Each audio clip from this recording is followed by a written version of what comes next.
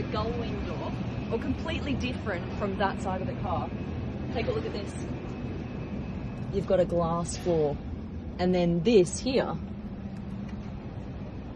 is a floating passenger seat. How mad is that? Completely floating. All right. This is for when you want to be driven around. You can either have someone drive you or the car will drive itself and you are in this little cocoon of relaxation. Take a look at this. You've got an espresso coffee maker in the car. That's cool. And then you've got massage seats as well.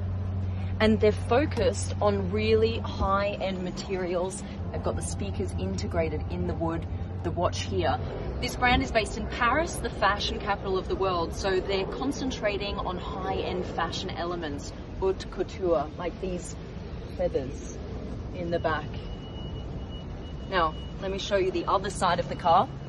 Each side has their purpose, and this car is completely asymmetrical. This is 1400 horsepower, 0 to 100 in 3.7 seconds. They know that in future, not everyone wants to be driven around. Sometimes you still want to drive. It's also made for the track. There's a button here to move the seat forward.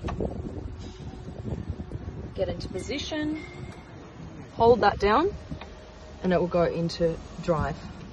See the D there. This is the new company, DS Automobiles, and this is called the X E-Tense. There's no roof, so I've got an umbrella here in London with me today.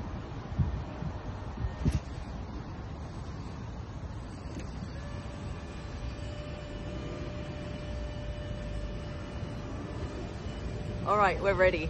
Are you ready? We're gonna take it for a drive.